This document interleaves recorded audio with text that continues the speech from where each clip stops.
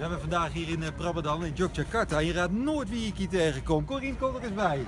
Ik heb net even een poedertje gehad. Hallo daar. Ja, dat is, eh, dat, hè, dat, dat is allemaal, allemaal met Heel elkaar. veel, heel veel poeder nodig hier, maar het is zo mooi. Kei mooi.